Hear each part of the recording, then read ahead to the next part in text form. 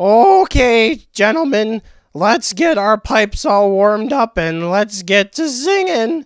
Oh, yeah, we're gonna be the best quartet ever. Shin, there are only three of us. Ah, I know that, but it, it, it makes it funny. All right, let's get warmed up and sing. Ah, ah, ah. Hello, collectors! It's Steven here yet again with another Shin Godzilla review. This time, NECA's go around with the design. The collector community so far has been a bit divided on this guy, with some saying he's perfect and others not so much. So, what's the verdict? Is he amazing, or is he doo doo? Or is he more reasonably somewhere in between? Because let's face it, that's where some figures lie. Well, sit back, relax, and let's take a look to see whether or not he's worth adding into your collection. Okie dokie, so this guy is a bit complicated for me. The sculpt is pretty much nice with equally nice paint application, though it does have a few drawbacks, which I think are totally reasonable to question given NECA's track record with being loyal to source material with so many other figures and lines, most notably with their recent Alien Covenant figures, which, though they're not accurate to the CGI models, they're very accurate to the practical effects. If you want to know what I'm talking about, check the first pin comment down below to see actual references. Now, of course, no figure is perfect, but let's jump in to take a very, very close look to see what I'm talking about. First off, the head is off overall. It's very Shin Godzilla, you can tell that the idea was captured, but it's just not there all the way. The problem with the head itself is it's too large and it's too long, making Shin look something like a crocodile, and it sits too far down on the neck. Furthermore, the mouth is off. Instead of giving it detailing in the mouth where the tongue normally would be, take note Shin does not have a tongue, we get excessive cheek webbing and questionable jaw paint similar to the GMK Godzilla. Eyes don't do the figure any favors either, since they should be looking down and to the side instead of forward, which was also an issue with their 1954 Godzilla. This is disappointing because NECA can, has, and will do better at the same price point, and to the argument of they'll never use this sculpt again, we all pretty much know that an Atomic Blast or Awakening version is coming sooner or later. Regardless, it's not a deal breaker for everyone, and the actual details in the sculpt and the paint application are executed rather well. As we move down the rest of the figure, this is where the figure really shines. The sculpting is exquisite, especially when we're looking at the chest. The paint application here is similar to the Monster King series, and there should be a card popping up to link you to that review, in that it looks a bit scratchy. This isn't a bad thing, it adds to the chaotic nature of the design overall. The rib cage, especially here, and the pronounced sternum make the figure look more skeletal, just like the actual design that we saw on the screen. The arms are nice and tiny, strong hands and all, with great shading for the claws. For such small parts, the attention to detail is really awesome and it is so appreciated here. The thighs, the pelvis, the hips, just like the rest of the figure with the paint application sculpt, are spot on. I have to commend NECA here. Really nice job keeping it this consistent, which also shows that the head, that's very sad. Now, of an interesting note, on the hips of Shin, there are little pokey parts. On one side of Shin, it's sort of rounded off, but on the other side, it's really spiky. Yeah, it's asymmetrical, but this is interesting in that it contributes to the idea of Shin's rapid evolution, or it's just an oversight when sculpting. I don't know, I'm just pointing it out. You decide whether or not it's a good thing or it's a bad thing. Now let's take a look at the feet because it's the last thing to look at on the main body, and yeah, features nicely shaded toe claws, but something to take note of, there are little claws on the design that are supposed to be popping out everywhere over the feet, and we don't get that here. Sure, it could be because of the price and the size of Godzilla, but they're not present. Now for the dorsal plates. Pretty mixed here. Sure, they're sculpted really well, but I think the paint is a bit heavy handed. They're a mix of red, orange, and purple paint at the base of the plates, which it doesn't necessarily look the best. Again, they're sculpted well just fine, but a little less of the chaotic paint would have resulted in a more accurate look. Regardless, though, this does look very chaotic and it does really remind you of Shin Godzilla. Now, the tail. Mine's got a quality control issue we'll look at in a bit, but for now, let's look at the overall design. The tail is the same as the rest of the figure in terms of sculpt and paint all the way up into the tip. So, as you would expect, the details are great and the paint application is pretty sweet. but when we get to the tip, very questionable. Again, the idea of Shin Godzilla is sort of captured here, but the actual details are lost. For some reason, Shin has these weird pus globs on it, and for some reason, the second face here isn't present at all. Why is this prominent design feature missing? No one will ever know. So, overall, Shin's design here, the way it's sculpted and painted, it's pretty awesome. But the head, the main focal point of the figure, doesn't necessarily look the best, and that little feature of the second face on the tail is missing. Does this deter everyone? Not necessarily, but it is something to take into consideration. Alrighty, articulation. So what we have here is pretty much the standard for all NECA Godzillas. So if you know one, you pretty much know them all. So the jaw opens and closes on a hinge. Little bit of a rocker, but not too too much there. So you can get them to open up really wide, but at that point the mouth webbing uh, doesn't necessarily look the best because there's a gap. So yeah, only reasonably open it. So about that far, it looks pretty all right. When you go to close it though, you notice that there's a little bit of an underbite. Yeah. So we get a decent range of where it looks good and then not so much, but that's okay because you really got to push to get that to sort of happen. So, you know what I mean. Then the head plugs into the neck on a ball joint. Twist it and turn it. You can get Shin to look around. Pretty cool. Mine pops off with ease. Some heads have been popping off in the packaging on store shelves. So if you see a headless Shin on the shelf, check around near the bottom of the package. That's where the head should be.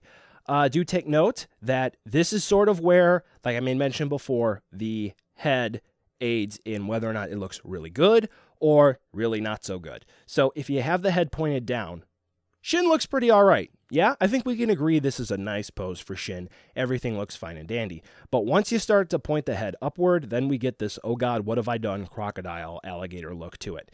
Yeah, not necessarily the best, but in terms of looking all the way up, that's about as far up and that's about as far down. And then we can get him to look a little left and right, but then the head pops off for mine. The neck plugs into the body on a ball joint, and we get some nice range of movement there.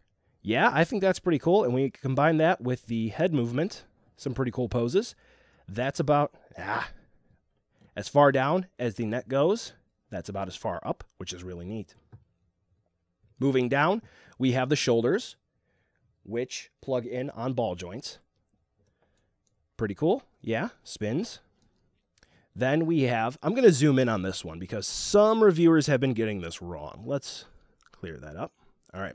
So we have the elbows hinge and then they swivel, right? So you can spin those around. So it's like a bicep swivel. The ball joint here on mine, it's kind of frozen. Like I can get a little bit of movement, but I was able to get it in a pose and that's about that's about where I'm keeping it. So yeah, the elbows have a swivel hinge. Now the wrists. Let's see if we can get that. Nope, that's about as far as we can go here. So let's move it a little closer. Alrighty. So the wrists, they're not true ball joints. As you can see there, there's a hinge. So they move in one direction and then they swivel. So they're not true ball joints. So if you go to move them side to side like this, that's not happening. Swivel hinge. Keep that in mind. You don't want to break these, okay? Okay. I think that's pretty good there, yeah? Alrighty. So, now you know how the arms move. We got pretty good movement there. Continuing on, we have the ab crunch, which is pretty good. Yeah, I like that. Pretty good movement down. Left, right, we can turn them all the way around. Woo, that's a pose for Shin. Pretty nice movement out of that ball joint. For the hips, we have a ball joint. Really can't get too much use of it side to side, but that's pretty good. We actually get some sort of pull down movement, as you can see there. That's pretty cool. Swivel hinge knees, which are right here. They spin. And then right here, at that cut in the shin area, we get a ball joint which provides a little bit of ankle rocker movement, and you can spin them around if you would need to. Something to take note if you go to stand Godzilla up, the legs are uneven. And that's not even something that's sort of rectified by the joints. they're just uneven. This one seems to be shorter than the other, and that seems to be a problem with the sculpt, not the joints. This is a problem that other people have had too. So, anyway, tail. You've been noticing in some of the shots that I've been keeping it up. That's because it takes some patience, as you can see here, uh, to get it in a good pose pointing up. So we have a whole system of ball joints here. We have a ball joint here, here, here, here, and here. I'll talk about this in a bit. And this section here has been loose for plenty of collectors. So as you can see, yeah, doesn't work too, too well. Very, very loose here. Kind of loose here, not so much. It's pretty tight, and then this area is pretty good. The connection here where it plugs into the body is also pretty loose, but as you can see, the weight of that tail is just not supported. Kind of floppy. I don't know if that's just bad engineering or if that's just a matter of the weight and physics and something that, you know, you just can't fix there. So that is what it is. But we do have a ball jointed tail, and as you can see, it's pretty nice range of movement. So when you get it to work, as you'll see in some of the shots later in the review, and as you've already seen throughout the review, you can get it to work. And don't get me wrong, you can get it to work. Once you have it resting on a nice surface, you can get some typical Shin Godzilla poses where the tail's sort of up in the air behind him, but you do have to work to get the tail to pose nicely because it is not difficult to get the tail to pop apart. As you can see, pretty easy to do. You know, not a big deal. So, the tip of the tail here. Hmm, hmm, hmm. Bendy wire, right? Yes, it is. But as you can see on mine, um, it's not really holding a pose, except for at the base of the tail down here. Why is that, you might ask? Let's zoom in and see. So, for some reason, at the factory, the bendy wire was not inserted correctly into the tail. It was only inserted for about this portion of the tail. So, yeah, I don't have full range of bendy wire movement in the tail. And as you can see there, there's also a hole in it. So I'm thinking that maybe the bendy wire was inserted here and then came out here, or maybe inserted there and poked out there. I don't know. I don't know what the issue was. But this is credit to NECA. They are indeed sending me a replacement. So it's actually here. There was an issue with um, the post office and not enough postage, yada, yada, yada. But I do know for a fact that it is here. I've seen the package. So good on them for replacing that for me. Fantastic. But uh, just something to take note of, you know, that this did happen. And if this should happen to you four, five years from now, what are you going to do? You know what I mean? Because they're not going to have replacements available all the time, and the retailer you buy it from, they may not have returns. So just keep that in mind. So overall, Godzilla's articulation, it's pretty good, and you can get some really nice poses out of Godzilla. But there are some points where maybe in the hips that there could be some improvements made, and there are some quality control issues for mine, like let's say on this shoulder that's really kind of stuck and I can't get too much movement out of it. And this, that could definitely have had some improvements made. Now for accessories, we get none. But some would say at about a $25 price point, it's to be expected. Unless you wait for the Atomic Blast or the Awakening version, which should probably be coming out either sometime this year or next year if they get to it. Then you should expect accessories for the same price point. Thankfully, though, if you have other figures or other accessory packs, they do go really well with Shin Godzilla. So if you want to create a nice actiony scene, you can do that. Here's one example that I just threw together really quick. And the size comparison. He's about as tall as a normal 6 inch scale Godzilla, which is good, though some may have wanted him a smidge taller for scale reasons. But regardless, he takes up a good amount of space on the shelf. So, buy now, skip, or wait for that deal. Shin looks nice in regards to sculpt and paint, but the head is enough to sway some people from not making the purchase, and it certainly was almost for me. If the neck was a bit longer so the head could sit up higher, this might alleviate some of the weird looks it could pull off with awkward posing of the head, and I think this would almost fix the problems entirely. Without factoring in the head or the tail tip, which is missing that second face, the sculpting and detail is impressive compared to what else is on the market, both in and out of the price range. Now, without mentioning other brands in specific, that comparison will come in a different video. It would be difficult to say the sculpted details aren't good, and it's wonderful we can see Shin captured like this in action figure format. Articulation is about average for a NECA Godzilla, being able to pull off some nice poses but lacking in some areas. And of course, my quality control issue does this no favors. But again, NECA is correcting that. But again, if this were to be two or three years later when this figure is long since out of production, what are you going to do?